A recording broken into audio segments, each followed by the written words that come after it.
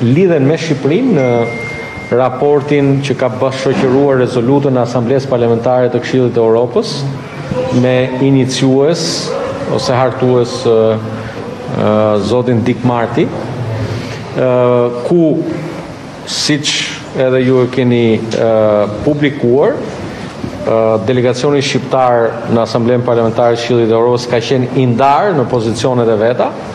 Përfaqësuesi i mazhorancës së asaj kohe, pas komunikimeve edhe me Ministrinë e Jashtme të asaj kohe, ka mbajtur qëndrimin për të votuar pro raportit, dhe ndërkohë që opozita socialiste asaj kohe ka votuar kundër.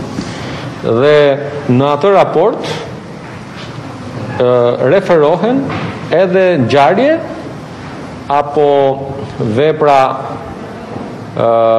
penale të kenë ndodhur në Shqipëri. Pas atij momenti në Shqipëri janë bërë verifikime, qofshin këto nga institucione të EULEX-it apo të institucione të tjera të të cilat kanë ushtruar aktivitetin e tyre përgjatë kohëve të ndryshme në Kosovë. Por duhet të kujtojmë që verifikime janë bërë edhe nga institucionet hetimore shqiptare. Të gjitha këto është dashur që të dhe duhet që të përfshihen në një dokument, do ta quaj, një raport dhe është në dinjitetin institucional të Kuvendit të Shqipërisë, por dhe në dinjitetin e Shqipërisë sonë të përbashkët, që në këtë kontekst Të gjitha këto gjetje dhe çdo lloj dëshmie të nevojshme që hedh poshtë dyshime sepse prova nuk ka e nuk ka se në Shqipëri, në Kukës apo në Has, apo në Mat, të ketë pasur baza të UÇK-së ku në të cilat të jenë kryer dhe krime sikurse pretendohet krime kundër njerëzimit apo krime lufte. Dhe sepse Shqipëria është një shtet ligjor, është një shtet i cili ka për detyrim të t'i verifikojë, dhe në vlerësimin tonë që jemi ende duke kolauduar me grupin e juristëve, brenda grupit tonë parlamentar dhe jo vetëm, edhe juristë të nderuar të së drejtës ndërkombëtare me qëllim që t'i verifikojmë Kuvendi i Shqipërisë në fund të këtij procesi, pasi ta kemi kolauduar gjithë procesin juridik, të shprehet dhe më pas i takon Këshillit të Europës, Asamblesë Parlamentare të Këshillit të Europës, që në vijim të atij raporti dhe asaj rezolute, të rivlerësojë vlerësimet e veta që lidhen me Shqipërinë. Kemi hulumtuar edhe procedurat që ka Asambleja Parlamentare e Këshillit të Europës dhe mendojmë që do të gjejmë instrumentin e duhur që për sa lidhen me Shqipërinë, këto çështje të qartësohen dhe askush të mos marrë përsipër të hartojë raporte apo vlerësime për krimet që gjëja mund të kenë ndodhur në Shqipëri, E që ne të gjithë si shqiptarë biem dakord që janë më shumë arsyetime hipotetike për nevoja të caktuara të politikës së caktuar të ditës në një vend apo në një tjetër, por Shqipëria ka qenë një vend pritës i më shumë se një milion shqiptarëve të shpërngulur, vëllezër e motra shqiptarë të detyruar shpërngulen nga gjenocidi serb dhe në Shqipëri nuk kanë ndodhur krime lufte sikurse pretendohet në atë raport apo edhe në aktakuza të ngritura nga institucione që duhet të ishin institucione të së drejtës Kosovë, por që kanë marrë një status tjetër dhe nuk duhet të hyjë në këtë koment. Zoti Balla nuk po bëni dhe ju politikë në këtë çështje duke akuzuar kryen e kryetarin e Partisë Demokratike zoti Lulzim Basha për çështjen kur në kohën kur ka qenë përkthyes i EULEX-it. A po e ngrini këtë komision hetimor pikërisht për zotin Basha do t'i ftoni në këtë komision të posaçëm parlamentar zoti Basha apo njerëz të tjerë që të paktën kanë kryer hetime në kohën që ju thoni? Gjë e fundit. Gjë e fundit. që mund të më shkojë mua apo çdo kolegut deputet të Kuvendit të Shqipërisë është që ky komision i posaçëm, i cili ka qenë një detyrim i Shqipërisë, Lulzim Basha dhe Sali Berisha duhet të kërkojnë njëherë falje që kanë votuar atë raport monstruoz kundër luftës çlirimtare të Kosovës. Partia Demokratike e Shqipërisë, aq sa ka mbetur nga partia e idealeve dhjetorit të viteve nëntëdhjetë, duhet të mbajë një qëndrim dhe mendoj që Lulzim Basha të paktën për këtë çështje duhet të ndahet nga Sali Berisha, nëse ka këllqe ta bëjë këtë gjë. Pra, vota e Partisë Demokratike në Asamblenë Parlamentare të Këshillit të Europës pro raportit Dick Martit është një tradhti e rëndë kombëtare. Ishte pro raportit apo ishte pro hetimit? Ju lutem. Pro raportit që ka kërkuar dhe hetimit. Por pro raportit është për faktet që ka renditur. Për hetimin shqiptarët kurrë shqiptarët kurrë nuk kanë kryer krime lufte, se shqiptarët kanë qenë gjithmonë në mbrojtje, nuk kanë kryer kurrë luftë pushtuese. Dhe hetimit shqiptarët kanë qenë edhe edhe kuvendi i Shqipërisë e kanë mbështetur hetimin. Ju kujtoj që në vitin 2012 kemi votuar në kuvendin e Shqipërisë për t'i dhënë për t'i dhënë mundësinë këtyre institucioneve të vinë të hetojnë në Shqipëri. Por Lulzim Basha që ka transportuar si jurist, por dhe si turist, një prej personave të përfshirë në hetim që ju mediat keni bërë publike.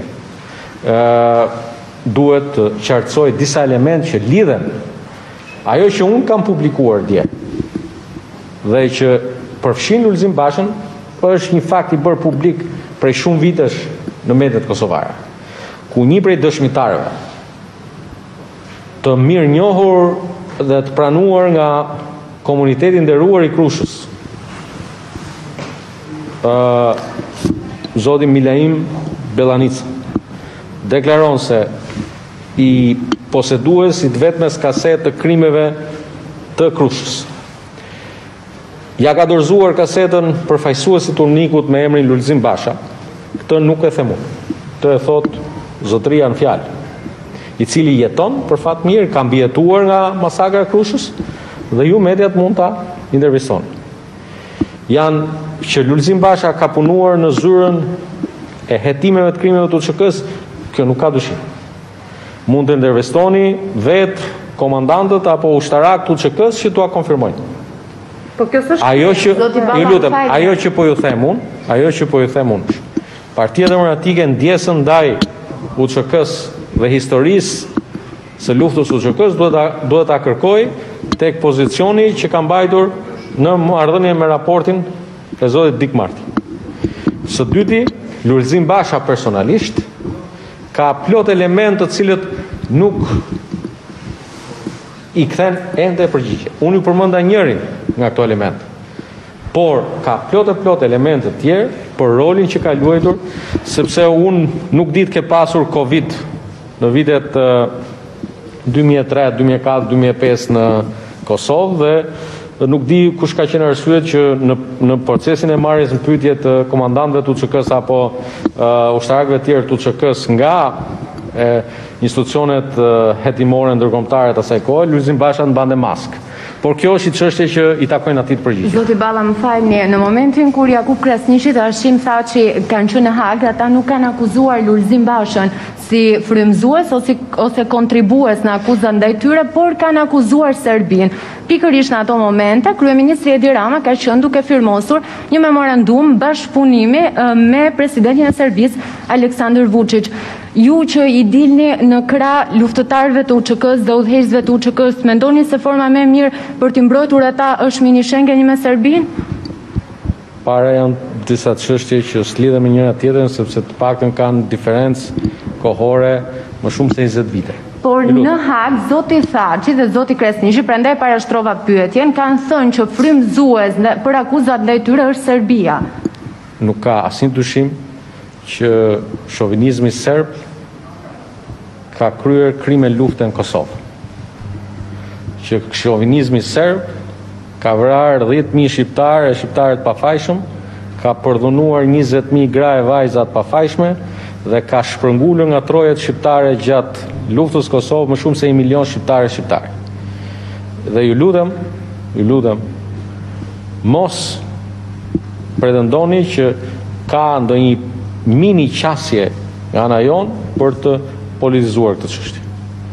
Ajo që unë po them dhe që ishte subjekt i pyetjes së parë të koleges tuaj ka të bëjë me rolin që ka Shqipëria në këtë proces.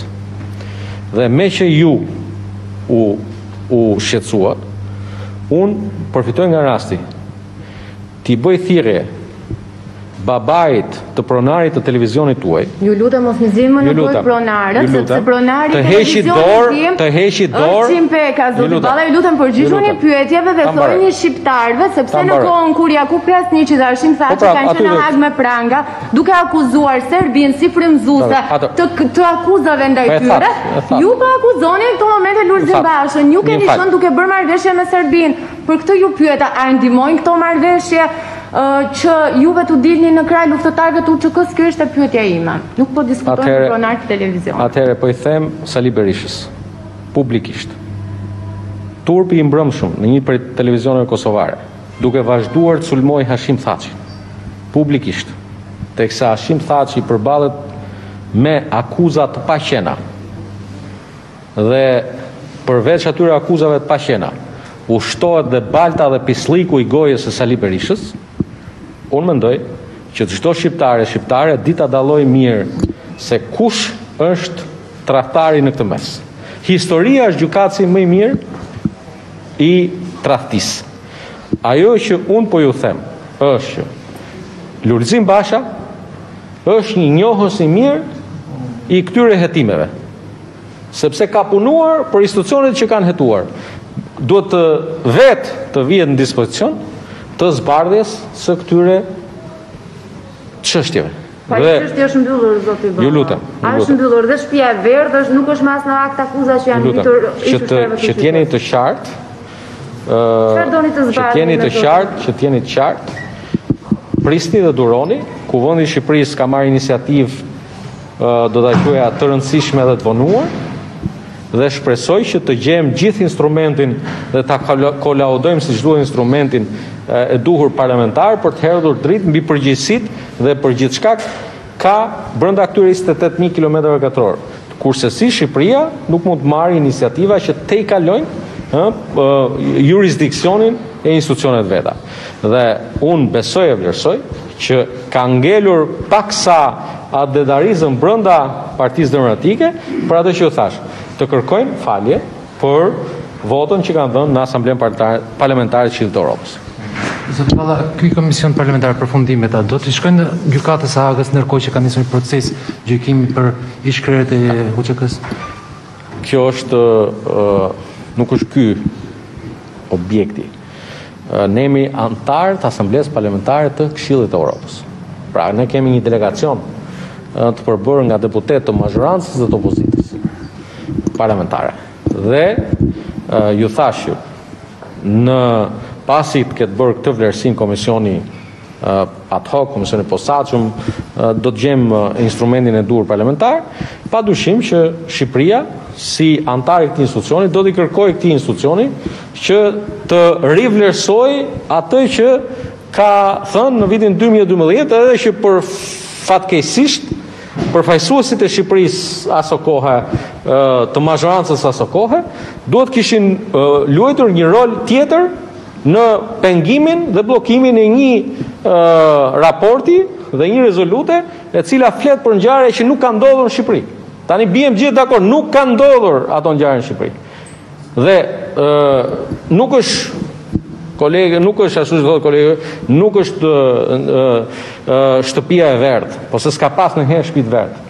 Se nuk ka pasur ndonjëherë klinikë transplantes në Fushë-Krujë apo në në në në Mat apo tek uzina e metaleve në Kukës. Po pse po e bëni sot zoti Balla këtë komision, kur mund ta kishit bërë prej shumë kohësh? Ua thashë që duhet ta kishim bërë prej shumë kohësh.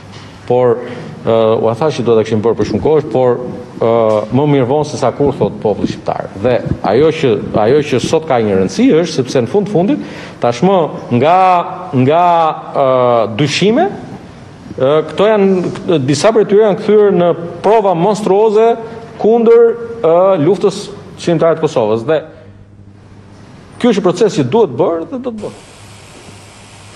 Ishim drejt përsëdrejti me Taulant Ballën te kryesia e kuvendit